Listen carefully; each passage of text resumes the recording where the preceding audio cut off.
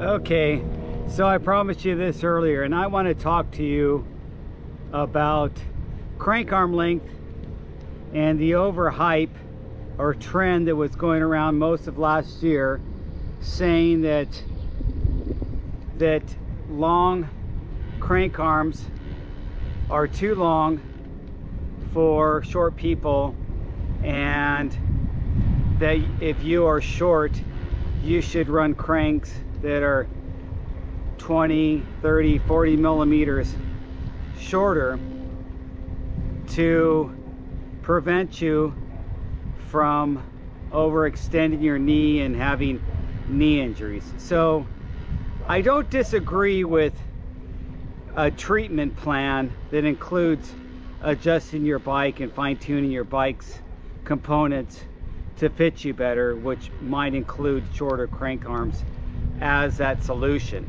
But what I'm saying is if you are not having any issues with your 170 maybe 175 crank arms why are you going to go to 160 155 crank arms?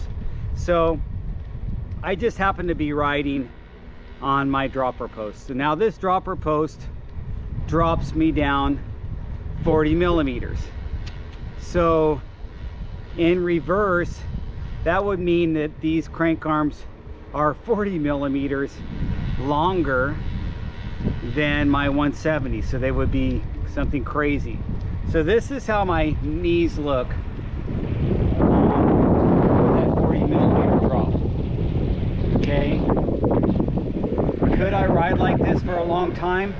Probably might it damage my knee and hurt my knee after a while?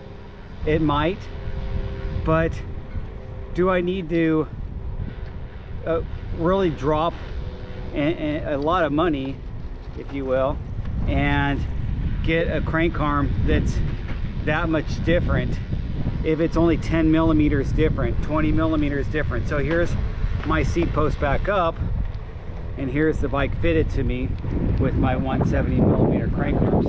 I'm fine with that.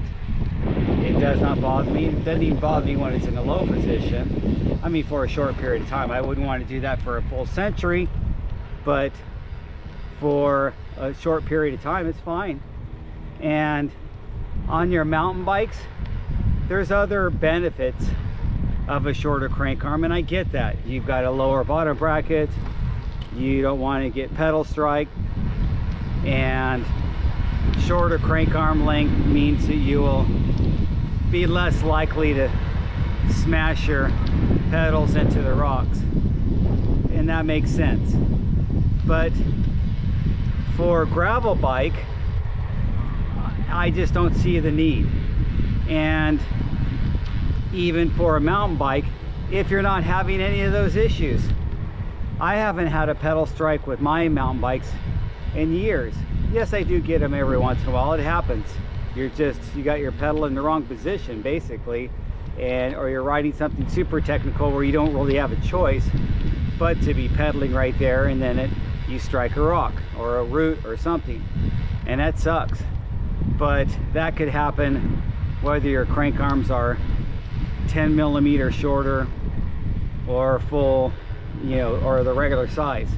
I don't think the 10 millimeters really mitigate that uh, and you know all the time. If your if your if your crank arms are if your bottom back bracket is that low you just have to make sure you keep level at that point. So that just I'm just rambling on about this and I'm sorry but I just don't want to give in to this trend or let you guys um, see the reality of this shorter crank arm hype. It's hype.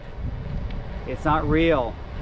And there's no need to go out and buy 155 160 crank arms because you're 5'5 you're 5'6 these I'm 5'7 these are 170 I'm fine. According to the charts I should be with 155 I think or 160 and I, I can't even imagine ever having crank arms that short and I wouldn't so I'll talk to you guys later.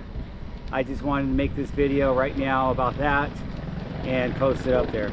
Thanks for watching. Enjoy your weekends riding. If you get out and ride during the week, enjoy that too. It's beautiful outside. I'm actually getting too hot with all this winter gear on. Talk to you guys later.